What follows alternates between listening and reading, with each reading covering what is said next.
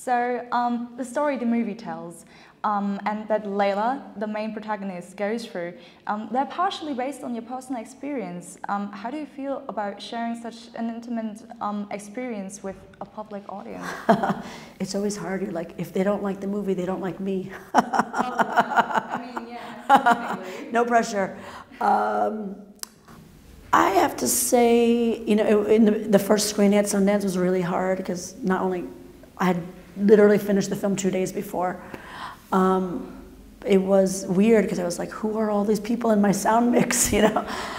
Um, I think the one thing is that when you make a film, it's in some ways no longer yours, right? When you make any piece of work, any art, any painting, at some point it's for the audience, it's for the public. So I think I've gotten over the element of being terrified because it's my story. I think I decided that when I wrote it, when I made it. Now I'm interested in how it affects other people. Like I had so many people come up to me yesterday. They were German, they loved it, and but also I was particularly interested. And one of the reasons I came to the Munich Festival was because Germany. I had spent a lot of time here in December doing post production. A lot of my friends from Iran have come to Germany, emigrated here as artists. Um, and it's a lot of Turkish, Iranian, Kurdish. I was very taken with this. You know, I've seen it in France, I've seen it in England. I thought it's very much a story of Germany too, of Europe. They, also the programmers wrote it this way. But I think at some point I was very touched yesterday. A Kurdish boy came up to me, this is so much like my family, or a Turkish, a Turkish woman came to me and said, I'm you know second generation, but I feel this is my story. An Iranian, another Iranian filmmaker came to me. He lives in Cologne. He said, "This is my grandparents' story," or someone said, "It's not my story at all, but you know it's cool to see Muslims not be gangsters, you know. So I think all of these things are kind of important for me to understand what that the audience takes away. But at some point, it's no longer my film; it's the film of the audience, and I hope it touches me to see how it affects people. Or, or people, the woman, people behind me were crying so much. I felt guilty. I'm sorry. I hope I don't ruin your makeup. um, it's, it becomes their experience, you know, and I, and I think, and that's why I'm so happy the film will be in cinemas and not only on, it'll be on streaming later, but it'll be in Germany and Europe and America. Because I think also there's a collective aspect to watching a movie, you know. That's why I like to go to the movies, because you come out of your house and you're not only watching the movie, you're watching the movie with these people at this moment in your life, and their lives there's an energy. I felt such an interesting energy last night watching it in the cinema. And I hope that people connect to the film and to each other in watching the film in a public setting. Why a comedy? Um, well, I think part of the reason I wrote this story in particular was like during the Trump era, uh, immigrants were being vilified, particularly Iran, the Muslim ban. I felt it wasn't very authentic to my experience, and I wanted to do something personal and I want to do something fun. And when I think of my family, and I think of, yes, we have a lot of trauma and drama, but I think what gets us through is our humor.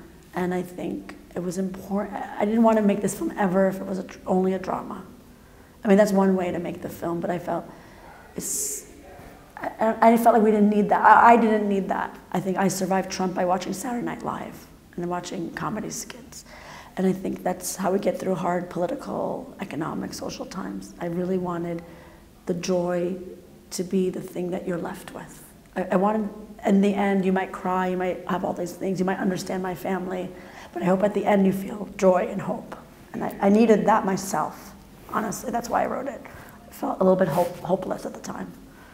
Yeah, it's really good and it's also different because um, oftentimes when you have such a difficult topic, it's really mostly serious. So right. um, it was really refreshing to yeah. see such an approach. I think people appreciate that. I, I, think if we could find a way to like talk about issues, but also have fun and be entertained, and I think that's also life. You know, it's like how, how do we get through hard days? Um, yeah. Um, what was your journey to filmmaking like, actually? To become a filmmaker. Yeah, yeah. What did um, you? What motivated you to get into it? um, 9-11. So in, during 9-11, uh, most of my brothers actually were working right across from the Twin Towers. I was on sabbatical at, um, in Berkeley. I was doing a PhD in actually Middle Eastern studies and literature based on uh, looking more at women, like women's studies. So I was at Berkeley, and as you know, it's three hours difference than New York. So I was asleep, and I kept hitting the alarm. And at the time, I told my my ex-wife, I was like, "Oh my God, um, I had a weird dream that a plane hit the twin towers." And just said, "What?" Because I had kept hitting snooze. I was hearing the news. Yeah. Because by the time I woke up, the towers had fallen, and I couldn't get in touch with my family. I know my brothers work very close by. I didn't know what happened. And I remember, like, I can't remember what publication on the cover it said, Those bastards. And I said, Oh, who are those? Are those me? Like, who do you mean by those? And I saw in the media quickly, you know, we created all the false stories around Iraq and about, you know, weapons of mass destruction. You know, became, again, we became enemies as Iranians, as Muslims. And I really decided to leave academia and go into film. I made, in response to 9 11, with just friends from Berkeley, we made a, uh, I made a black and white film on 16 millimeter. I didn't make it to go to film school, I just, it was my expression. And my brother at the time, who had worked across from the Twin Towers, he said, let's go into film, let's change the world. So I submitted this film to NYU, I wrote an essay, and I won a full scholarship to do my master's at NYU.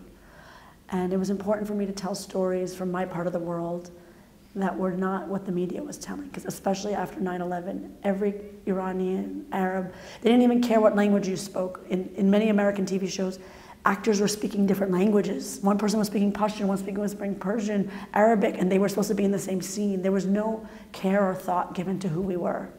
And it was very dehumanizing. And it's one of the reasons I became a filmmaker. And this particularly, this film, because I had never seen a film growing up ever. I loved uh, Joy Luck Club. I loved Scorsese was a huge influence. I loved so many films, but they were not us, you know. So it was. I felt like it's time for me to make my great immigrant story to be, you know, reflect who we are.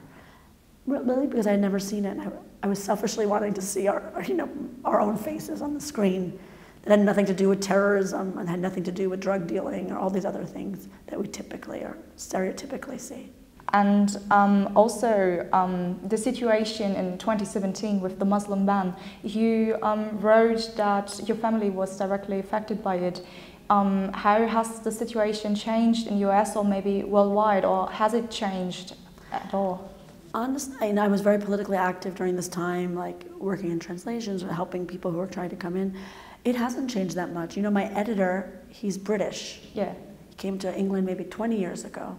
He's won so many awards as an editor. He's done big Amazon shows, shows that films that have been nominated for BAFTA.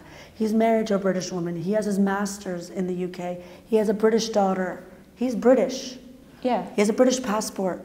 He was denied entry to the US for Sundance.